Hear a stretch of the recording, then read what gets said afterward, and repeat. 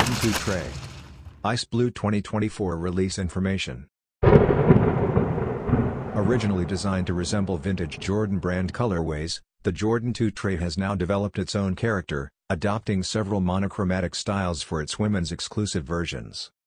The newest 2 Trey Jumpman model has a mesh base, a patent leather mudguard, and an ice blue color scheme.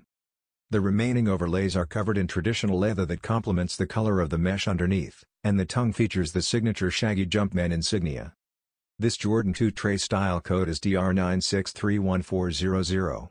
The shoe's gum sole, which is icy blue to match the upper hues, unites the whole ensemble. An elegant appearance and feel are achieved by combining traditional air cushioning with real leather.